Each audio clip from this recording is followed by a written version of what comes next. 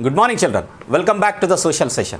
Children, in the past class, we tried to understand about the other side of the industries, like uh, the emerging problems in the industries and the problems being faced uh, in the development of the industries in 1970s and 1980s. Today, I have come up with a new industrial policy where we understand this policy has revolutionized the establishment of industries in the country. So it was in 1990s that the country has uh, began to re- relook at the industrial policies till then uh, and a new industrial policy was announced. So many activities which were earlier uh, restricted only for the government purpose were, not, were now allowed even for the private industries uh, to enter into such category. And government also has relaxed many uh, factory made consumer goods were also being uh, exported from other countries. Many government rules were uh, simplified to encourage the industrial activities uh, in India, especially for the new entrepreneurs. Who are these new entrepreneurs, children? The people who wanted to start a new business are called as new entrepreneurs. So government has provided many relaxations in order to start a new business. You can import the raw material from the uh, foreign countries and uh, you can start the production activities here. In order to improve the efficiency of the government uh, owned industrial units also, government started selling off some of them even. So you know it, many of the government uh, public sector units have become sick, so they started selling them out.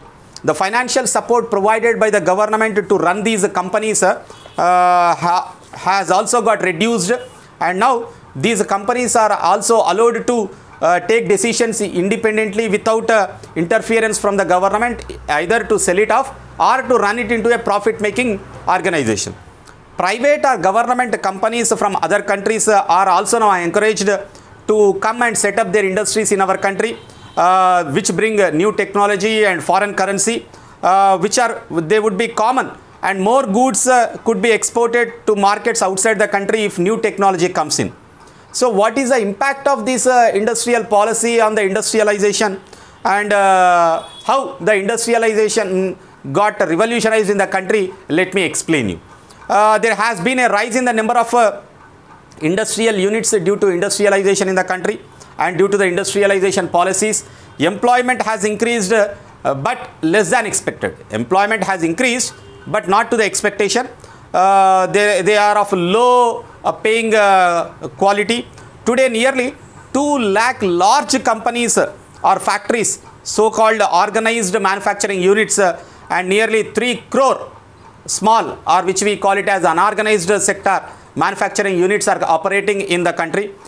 That means 2 lakh major units are there 2 lakh major units and 3 crore okay small units are there in the country.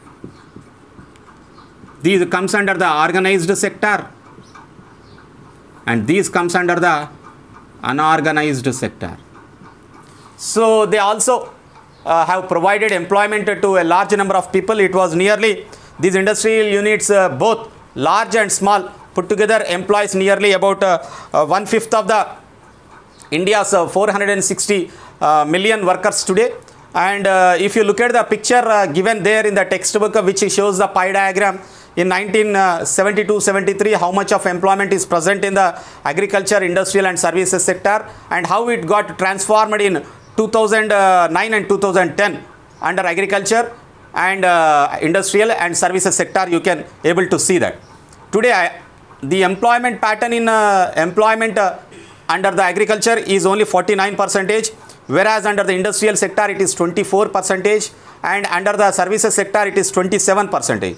One important point in industrial development after the uh, new policies were implemented was that the role of the small uh, firms has declined with uh, many big uh, uh, industries coming up with a factory based uh, industries. So the small firms are completely uh, disappeared because of the big industries have come up.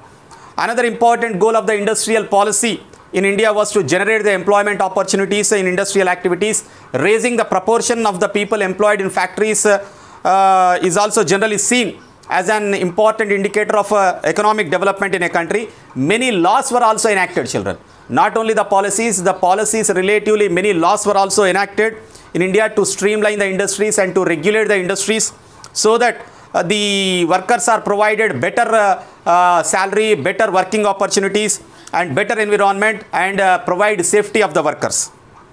More industries would get established and uh, most workers would earn better salaries also and incomes in due course.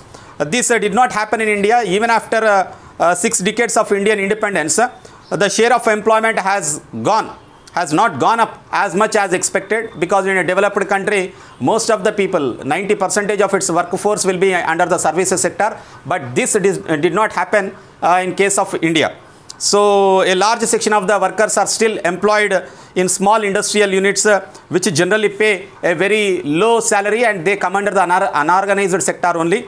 And it is a divide that safe working conditions and uh, health benefits should be given to the uh, people who are working under the hazardous uh, uh, industrial or mining industry. In contrast to the expectation, a large industries began to replace with the uh, technology and more and more uh, automation has taken place because of which uh, this led to almost uh, additional uh, zero additional employment in these large factories. If you look at the production of the factories, if you look at the production of the factories uh, based industries has increased over the last 10 years but the employment uh, could not increase to that level so we shall see about the production of the steel production of the uh, textile and production of power which are the basic things uh, how they have increased for the past uh, uh, 10 years we shall see. For the past decades we shall see. And its consumption also in the next class. Thank you children